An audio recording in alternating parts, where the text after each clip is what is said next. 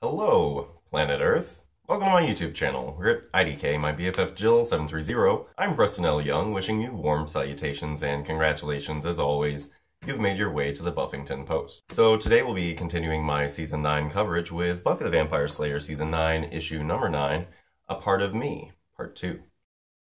Alright, so previously on Buffy the Vampire Slayer. We haven't seen Willow since she ran off with pieces of broken sight to restore magic to our world somehow. The whole no magic situation is no fun because we've got, of course, no magic, but part of that is these vampires who are just kind of mindless vampires who are just driven on instinct and no kind of like demon or human uh, driving system, okay? So that's what's going on, and a couple of detectives who had been investigating Buffy and the whole vampire situation at the beginning of the season, uh, yeah, they got into a tussle with some vampires and they killed and sired Miranda Chung, one of the detectives, and her partner Dowling has been all distraught and he went to go and seek help from Xander and Dawn. Buffy had been having these dreams in which the first Slayer was telling her, hey, you're not Slayer anymore, and the fairy girl told her that she's not a girl anymore, so Buffy took a pregnancy test, she found out she was pregnant, she went through all this crazy emotional stuff, and then she decided she was going to have an abortion, only to find out that she's a robot. We've also got Spike, who is all in love with Buffy, but Buffy's a robot, and her life is all messed up right now, so now Andrew is taking us to Suburbia to go and get Buffy's body, which has just been kidnapped by Simone, the renegade vampire slayer with the crazy pink hair. So, here we go. It's Buffy the Vampire Slayer, Season 9, Issue Number 9, A Part of Me, Part 2. Here we go.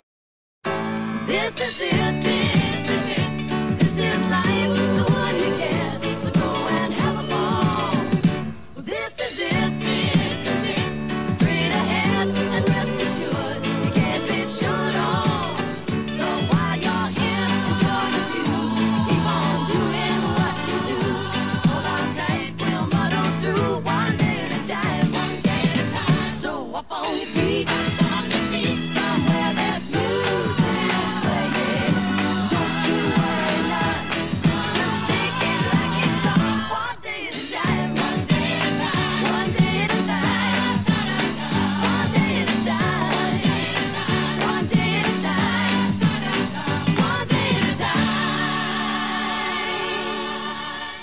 so the issue opens up and we are investigating the scene of the crime. Buffy's kind of looking around this house that Andrew had made for the blank Buffy that he left in her stead. So they are looking around the house and they see signs of a struggle, and Buffy questions whether or not this other Buffy could have fought back against her attackers. And Andrew says that he didn't really program any kind of fighting skills into this real Buffy body, but there is like muscle memory, so she could have stood a fighting chance, and all she does have her Slayer powers still. So Spike is kind of going off on Andrew about putting Buffy in this whole situation, and look, it didn't even work because Buffy got kidnapped. They realize that Buffy has left them to go and search through the house. And so Buffy is going and she's looking through the house, and it's this two bedroom home, and Andrew has furnished it with like really nice appliances, but you know, vintage stuff, and it just seems really nice and cozy. And she's wondering aloud, like, she's using this room for an office, but you know, was she planning on using it for a nursery or something like this? But Spike tells her that that doesn't make sense. This isn't even a life for a real person. And Buffy says, since she didn't know that she was a robot, you know, this girl didn't know that this was a fake life. So they're looking around the house, and Andrew comes and says, Hey, I had a tracking device that I finally got activated in the real Buffy's necklace. So at this point, we pick up with the kind of blank Buffy who has been kidnapped by Simone. And Simone is basically just kind of going off on Buffy, talking about how she led all of these women into this great big war and they got killed, and then Buffy just kind of abandoned the mission. She says, I really thought you were a punk piece of shit before, but after finding one of your decoys instead of the real you, I figured, wow, you really have lost your stuff.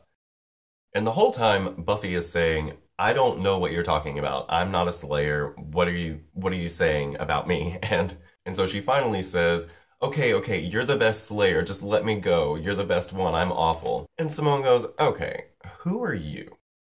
So at this point, we pick up with Dawn, Xander, and Detective Dowling, who go back to, um, I guess, the morgue to check out Miranda to see if she has in fact turned into a zombie.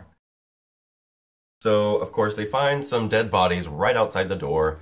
Uh, the police had obviously been called, and Xander says, Okay, Dawn, I need you to go and get in the truck because he's worried about her safety. And she says, really, I've been doing this since I was in middle school. Give me some credit.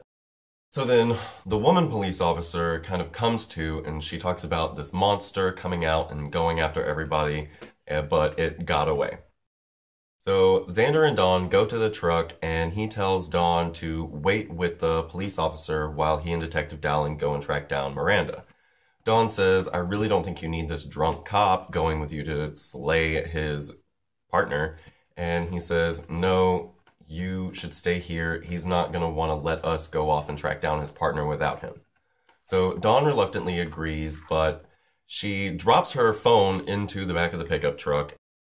And as she's left with the bleeding police officer waiting on the ambulance to arrive, she's missing Buffy's call. And Buffy's phone picture is Mr. Gordo. So, yay, Mr. Gordo returns. so, of course, Buffy has to leave a voicemail for Dawn, and she doesn't mention the fact that, hey, she's a robot and not pregnant. But then she and Spike are called to uh, see what Andrew's got up his sleeve, and the tracking device has led them to Angel Island. And Buffy thinks this is funny, but Spike doesn't. He's kind of annoyed with Buffy at this point. Andrew is going about putting a new robotic arm on the Buffy bot body that Buffy's in. And uh, she's basically just kind of going off on him about how this was so ill advised, and he feels bad about it, sure, but she says, You have no idea what you put me through. You didn't even tell me that I was a robot, and I thought I was pregnant, and I went through this whole emotional trauma, and you really need to appreciate that, Andrew.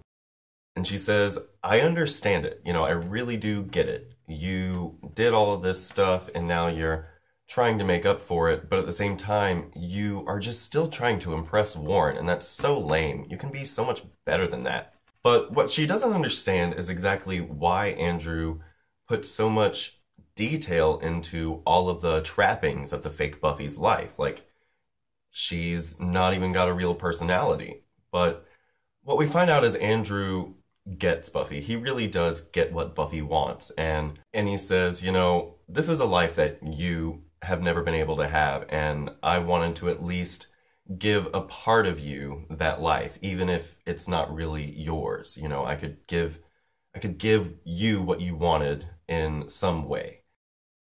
And Buffy really appreciates this, and they have this little moment, and then they arrive at Angel Island. So Xander and Dowling are following this trail of dead bodies uh, to kind of track down and find Miranda Chung, who has been, of course, turned vampire.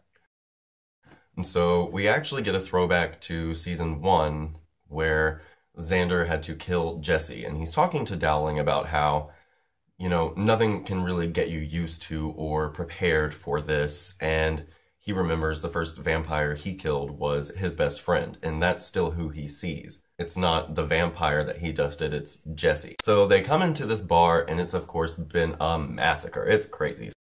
So Dowling calls in for backup to come in and investigate the situation, but Miranda is still in the bar. So, of course, uh, the Zompire Miranda comes after Xander and Dowling. Everybody fights. Fight, fight, fight. And Dowling dusts Zompire Miranda. And it's at this point that Dowling really gets what's at stake, no pun intended, with this kind of supernatural work that it really does hit home even though you're supposed to just be killing a monster that used to be your friend, you know? So they arrive at Easter Island, and Spike says that he and Andrew should go and investigate while Buffy in the robot body stays back to be safe. And Buffy says, Are you kidding me, Spike? Like, I'm not pregnant anymore, and I'm not even human, so why don't you just back off and stop trying to protect me?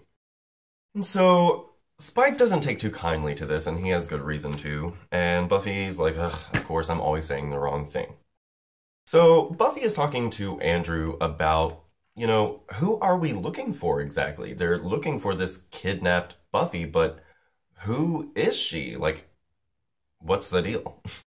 So they all decide to split up. Spike is going to go in one direction, Buffy's going to go in another, and Andrew's going to go in some other. So we pick up with Spike, who has found Simone's van. So he's investigating the van, probably sniffing it out, right?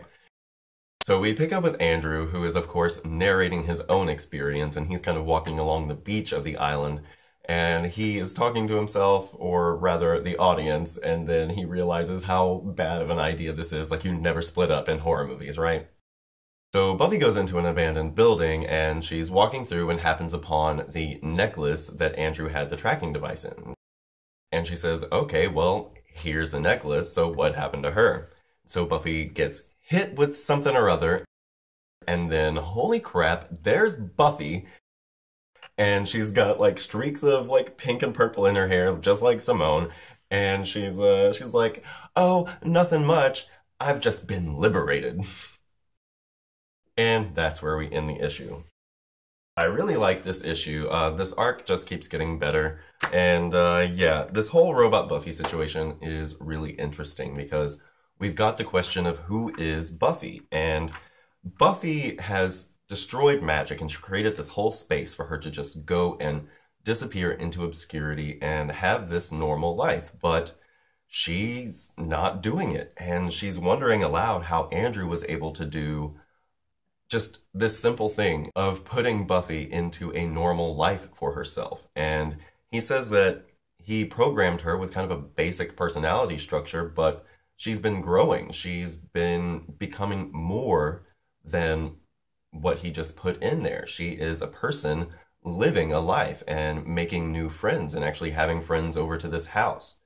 And so Buffy is wondering, what could my life be if I were not the Slayer, if I just did walk away from all of this? And it's something that season 9 is really going to kind of keep going with as a theme. Um, really interestingly here is Xander and his uh, serious, he's been clearly traumatized by everything that's gone on in Sunnydale. And I think what is really triggering this uh, kind of eruption of emotion out of Xander and uh, kind of him speaking about his feelings really clearly is the fact that there isn't this constant fight. And now that that fight isn't going on all the time, he's stepped away from it and he's really starting to see how much all of this has really affected him over time. And he just probably wasn't dealing with all of that uh, when everything was always happening all the time. Just kind of get used to it. But now that he stepped away from the supernatural, uh, everything just hits harder to home. And I really like that. Uh, and at the same point, we've got Dowling, who is, of course, going through this idea of having to separate the supernatural from the natural. But the natural is still in the word, and you can't undo that. There's no real separation between the two, and that's what Buffy's really lovely about expressing, even in a world without magic. And uh, yeah, we've got uh, Let's Hate on Buffy time. So let's hate on Buffy. Buffy is so self involved, and you know, I love Buffy, and she's got a lot of haters, and she gets a lot of hate in her own, you know, life. So I feel like she can handle a little bit from me and you and the rest of us because, you know, I'm not a big Buffy fan, but I respect what it's about. Like, I, I get you guys. but here you've got Spike, and he's totally in love with Buffy, and he's going to help her out with this having an abortion that she thought was real, like this baby. And she was going to him because she didn't really have anywhere else to turn, and he's just this dark place for her. And here, as soon as she finds out that she's not a person, that she's not pregnant, she's just kind of like, oh, well, I don't need your protection anymore, Spike. I don't need your input. And we see that she is constantly putting Spike on the back burner all the time. And this is really grating on Spike, and it's just not fair for Spike. He's getting really fed up with it, and you can really see it on his face in this particular issue. Uh, the Zompires. The Zompires are going to be a real problem if they're going to keep procreating like this, and if Miranda just left a slew of bodies on her way to go get some drinks at the bar. This is really bad, and the Zompires are going to be more and more of a threat as we get through the season, so not fun, not fun. Um, Andrew, I like what Andrew is kind of doing here. I will say that I don't like um, Andrew's kind of story of each season being this is how Andrew fucked it up for us this time when he was trying to do the right thing. It's it's just kind of ridiculous. I don't I I feel like Andrew can have a different kind of story and hopefully they'll get away from that moving into season 11, but here I do like what Andrew is doing for Buffy and I like that he really does get Buffy and see that this normal life is what she wants for herself, and he knows she'll never really take it for herself because Buffy's too responsible, but he can kind of give it to her, and I really do like that uh, it, that sentiment here. Uh, Simone. Here, Simone looks at Buffy as someone who has become a robot, who has betrayed everything that uh, kind of her audience expected of her. She's uh, she was always at odds with Buffy because of their philosophical differences, but now Buffy seems to have betrayed her own cause again, and so I really like uh, Simone's perspective on the Buffy character. I like her being able to paint her as a villain and it coming across as over the top, but at the same time, you can really understand where those kind of over the top reactions do come from. And about the over the top, we've got uh, blank Buffy, and she comes along and says, I've been liberated. Here, I think this is a really neat uh, commentary on the way that feminism is perceived in uh, just culture in general.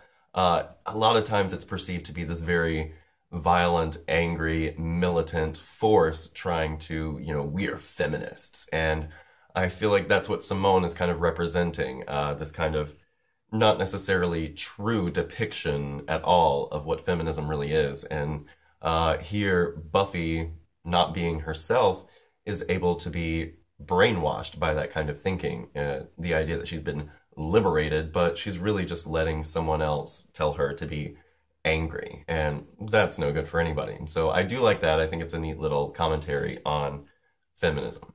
Uh, that's pretty much all I've got for today, you guys. Uh, I hope you're having a great 2000. Oh, Mr. Gordo! Yay, Mr. Gordo! Right? Yeah.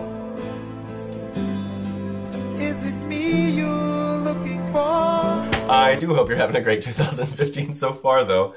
Uh, you can come right back here to the Buffyngton Post anytime. I've got Buffy the Vampire Slayer reviews, Angel and Faith reviews, Buffyverse discussions, and a lot more. Just check out my playlists. Have a great day, and we'll see you next time. Bye.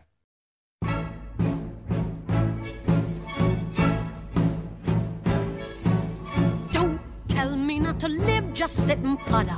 Life's candy and the sun's a ball of butter. Don't bring around a cloud to rain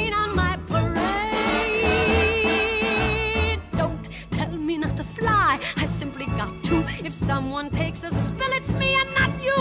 Who told you you're allowed to rain on my parade? I'll march my band out. I'll beat my drum. And if I'm found out, your turn at bat, sir. At least I didn't fake it, hat, sir. I guess I didn't make it, but whether I'm the rose of sheer perfection or freckle on the nose of life's complexion, the cinder or the shiny apple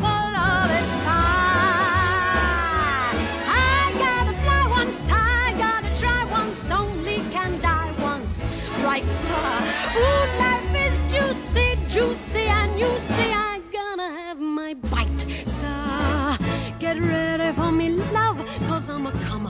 I simply gotta march, my heart's a drummer. Don't